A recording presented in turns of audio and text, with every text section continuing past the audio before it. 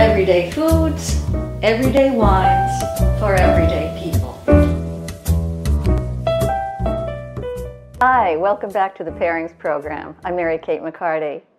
When you're in quarantine, it can be hard to stay in shape, so you have to do your exercises. And here's a fun little one that'll help you keep your palate in shape. Oddly enough, it's called palate training. Technically speaking, the palate is the roof of your mouth, but it also means your ability to taste flavors, which we do with the taste buds on our tongue, where you taste bitterness, sourness, saltiness, and sweetness. This exercise will train you to look for four flavors in a wine acidity, sweetness, alcohol, and in the taste of red wine, tannins.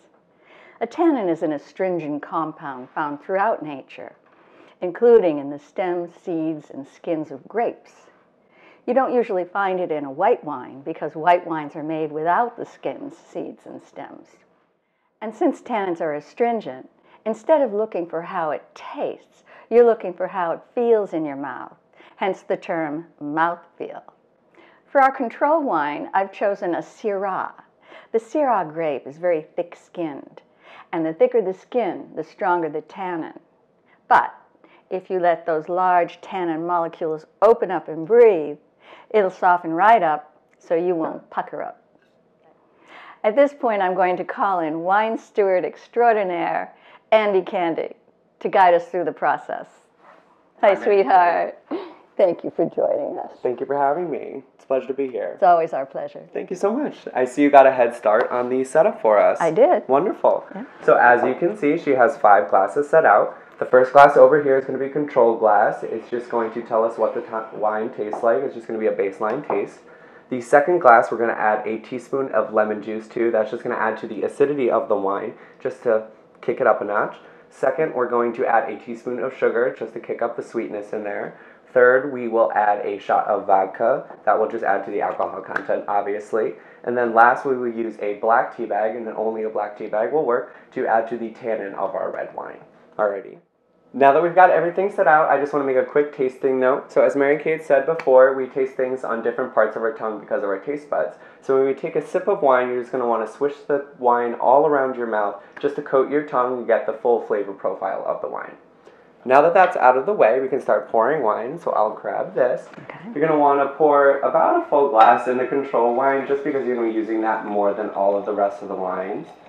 And then after that, you're going to want to just put about a half a glass the rest. So get that started. And then Mary Kate, if you wouldn't mind, would you add the lemon juice to the first glass? With pleasure. We have about a teaspoon in there. And then you'll add about a teaspoon of sugar to the second glass. Okay. Just a spoonful of sugar. Mm-hmm. Okay. Alrighty. Now that that's out of the way, we can add the vodka to the third glass. And then we'll add the black tea bag to the fourth. Now, because the black tea bag is just going to take a moment to steep into the wine, you're going to want to taste that last, and we're going to put it in there and just leave it sitting until we're done with that. Alrighty? Alrighty. Okay. yes. Now that everything's set out, we're just going to go through the order of our tasting. So first, you're going to take a sip of the control wine. Again, you don't really need to know the flavor profiles yet. We're just tasting that so you can notice the difference in the altered wines. So after you take a sip of the control wine, we're going to move on to the altered wines, as I said before. And again, you're just noticing the difference. And then after that, after you understand the difference, after you kind of take your own little notes, you're going to take a sip of water just to cleanse the palate, and then we'll move on from there. Alrighty? Sounds good. Alrighty. Okay.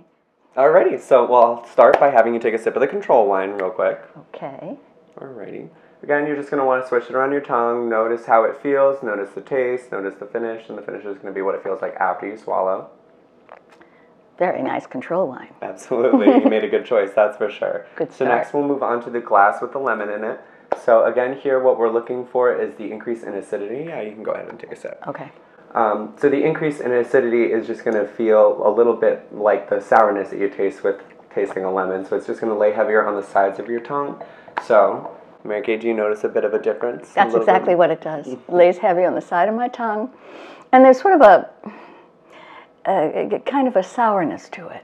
That's where the sour taste buds are, actually. Yeah, absolutely, yeah. on the sides of your tongue. So okay. it's funny that you feel it on the sides of your tongue. It's just Yeah. very accurate. Yeah, absolutely. yeah.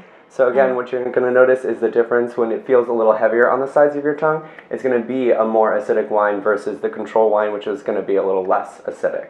So does it feel heavier on the sides of your tongue than the control wine? Distinctly different. Yep. Absolutely. So Yeah. that's how you tell the difference between an acidic wine and a regular wine. Okay. All right. All right. So let's grab that sip of water and then we can move on. All right. Sounds good. Ready. Alrighty. Okay. So Alrighty. So again, we're going to start with the control wine. Coat your mouth. Understand the flavor profile. got it. Alrighty. And then next we're moving on to the sugar. Okay. Alrighty. So sweetness tends to be felt on the tip of your tongue, so you're going to want to give it a quick swish forward in your mouth. And again, oddly enough, it's going to feel a little bit lighter on the tip of your tongue. It's a, just an increase in sensation on the tip of your tongue. So as opposed to the original wine, this wine will just give you that bigger sensation on the tip of your tongue. And do you notice that? Yes, it's very subtle, Mhm. very nuanced, but almost a little tingly on the tip of my tongue, and um, yeah, definitely a little uh, softer and sweeter than Yeah. the control. Absolutely. Yeah. So that's just to help you tell the difference between what a sweeter wine would taste like versus a wine of the same caliber that's just a little less sweet. So if you were tasting two different Syrahs and one just kind of hit the tip of your tongue more, it's just going to be a little sweeter than the one before. Never thought of it, Yeah. Well, but you can definitely taste the difference. yeah, well that's what Yeah. this is for. Yeah, beautiful. Alrighty. So let's go with that water again. Okay.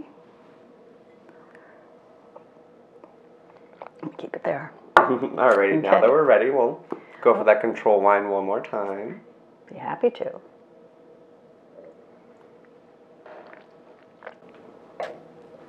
Alrighty, so alcohol has a little less to do with the flavor and a little bit more to do with the heat after you swallow. So if you were tasting a wine that had a bit of a higher alcohol content, it would leave a little bit more heat in the back of your throat. And in your nose. And in your nose, absolutely, kind of travels That up went there. straight yeah. through, yes, Absolutely. yes. But it does it feel a little bit hotter than the first wine, perhaps? Oh, like I'm going to breathe fire. Have a little uh, wine with your alcohol. True, true. it's definitely different though. Right. Much much hotter. So what that's going to show us is that a wine with a little bit higher of an alcohol content is just going to leave a little bit more heat in the back of your throat as opposed to one without one. Very easy to spot. Yeah, absolutely. And this is definitely the easiest one to spot out of all of them for sure. Yes. Alrighty. So I'm going to grab our last sip of water here before we go for our tannin glass. Alrighty, so I will grab this out of here and take a sip.